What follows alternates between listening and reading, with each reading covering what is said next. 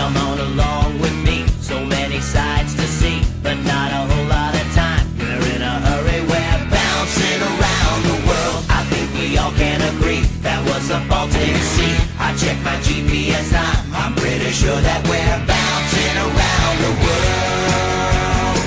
We'll bounce across the Great Wall and past the Taj Mahal. We'll go to Rome and see the Colosseum. The Colosseum, it's a real world.